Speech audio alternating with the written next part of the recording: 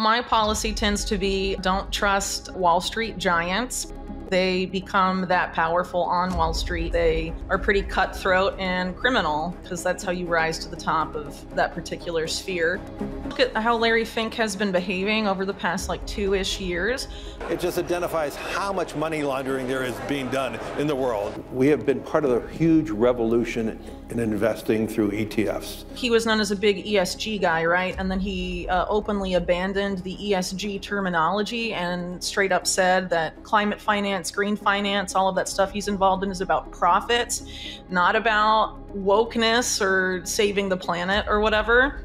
and since then has also 180'd his stance on Bitcoin and has essentially changed a lot of his talking points, which I think is very notable. Today, Whitney Webb is discussing Bitcoin and cryptocurrency, warning that we are on the brink of a rude awakening. The recent approval of BlackRock's Bitcoin ETF is just the tip of the iceberg, as more financial institutions and governments are diving into spot ETF. Webb highlights a deeper agenda to use Bitcoin and cryptocurrency to control the money supply. She argues that soon cryptocurrency will become a tool for governments to undermine the value and privacy that they have struggled to regulate until now. According to Webb, we're witnessing the unraveling of the fiat money system, an unprecedented event in history. While the US dollar may seem resilient, there are larger forces at play behind the scenes. The first time I really wrote meaningfully about Larry Fink was probably a few years ago. Uh, in relations to the Glasgow Financial Alliance for Net Zero, uh, where Larry Fink is a principal. It's like a UN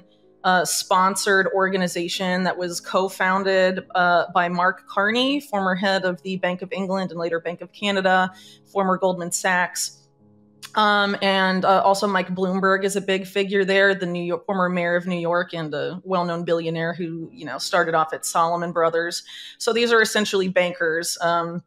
developing what amounts to a major component of UN-sponsored uh, policy directly related to their you know their climate change policies. And um, basically, what GFANZ proposes is creating a new financial governance system, uh, seizing what they call the new Bretton Woods movement uh, moment. Uh, basically, you know, recreating the global financial system and also reimagining the multilateral development banks, uh, like the World Bank, the IMF, et cetera, which came out of actual Bretton Woods, right? So they want to move all of that into a new paradigm. Uh, Larry Fink's been particularly vocal about that. And what GFANZ proposes specifically is merging the members of GFANZ with the multilateral development banks as a way to basically use the same debt slavery model that the MDBs have been criticized for using. But instead of using it to further uh, US empire, uh, or the dollar and, and, things of that nature. It's instead uh, the the proposal is to use it to create um, better enabling environments in countries for the green investments of these large financial institutions and asset managers. So it's it's basically like perpetuating the same uh, model of the MDBs, but having basically Wall Street run it uh, under the guise that it's a planetary necessity uh, and that we can't get to net zero without this, which, uh, frankly, if you look into the explanations for that, there's no way that's the case. Uh, but that's, you know, how I first start uh, started writing about Larry Fink uh, was because of this, his involvement in this uh, relatively open plan to create a new financial system, which, among other things, doesn't just rest on the MDBs, but also on the development of global carbon markets uh, which comes up in this uh, this particular piece in a pretty meaningful way. Well, Larry Fink is someone who's obviously a member of the elite, and he's also a person who, throughout his entire career, has been pretty obsessed with risk management. So I think you know whatever this new financial system is, it's um, that he is, you know, part of this group propose that, that's proposing this, um, ultimately is about trying to uh, enable BlackRock to continue its massive expansion to own, you know, essentially everything uh, with, you know, uh, as little risk to them as possible. Um, which uh, obviously a lot of the stuff that Fink is pushing for is part of this broader a system that the world's being pushed into under the guise of sustainable development that includes things like digital IDs and, and carbon markets and all of that, setting something up where it's uh, very, uh, very diff- will be very difficult to challenge uh, BlackRock's financial uh, prominence and dominance, really, and uh, anything that Fink and others would view as a risk to, uh, you know, their current trajectory, I guess they don't really have to worry about people like uh, people or movements like that uh, as they mm. enter in enter into and sort of impose upon us this uh, these new systems which includes you know some of these forms of digital control uh, like the cbdc and their private sector equivalents for example programmable surveillable money um, and you know tied into the digital id thing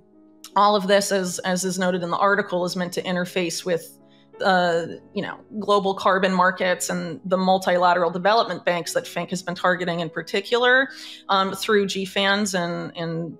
also uh, BlackRock itself has been pretty focused on them. Um, you know they're seeking to uh, the, the, World Bank is developing climate wallet functionality and a lot of this other infrastructure on which uh, uh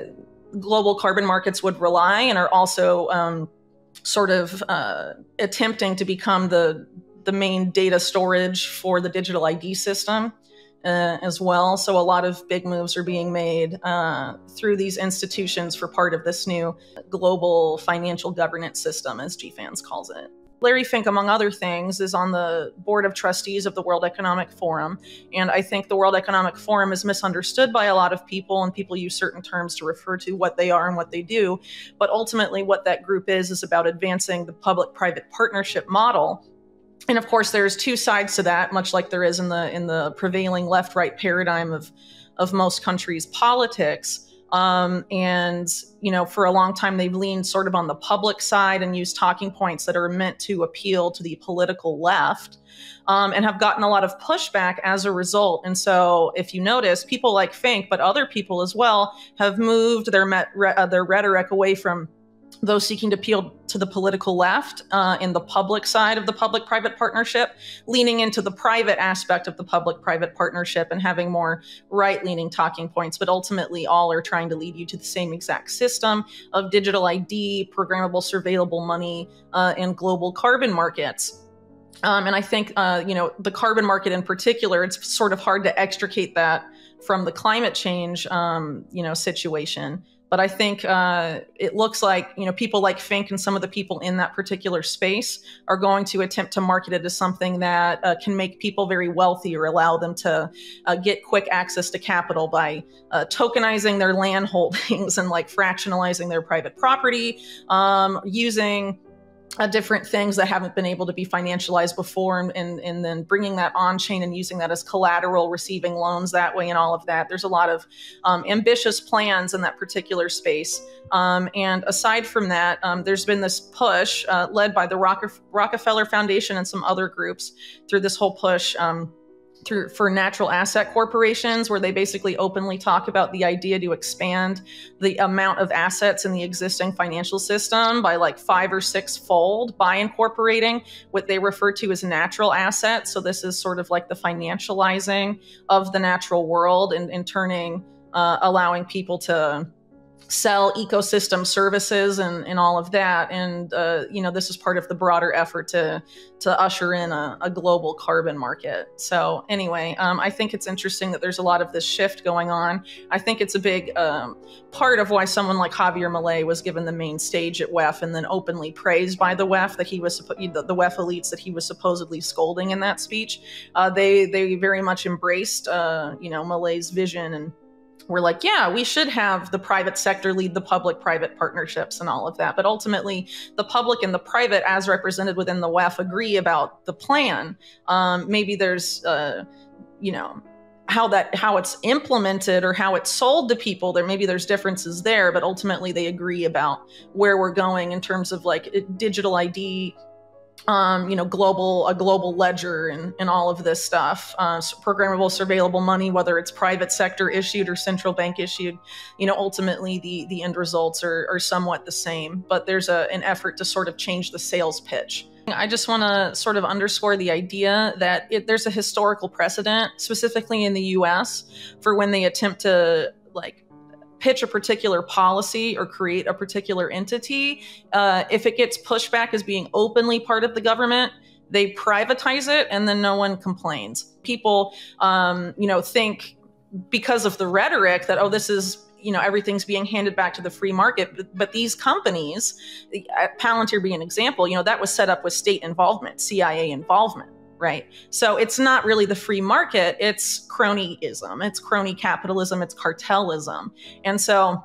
with someone like Milei being like, yeah, I'm going to hand stuff off to the private sector, it's not like it's going to the Argentine private sector, it's going to foreign uh, members of a global banking cartel that includes some of the biggest in institutions on Wall Street that have a verifiable documented history of, of corruption,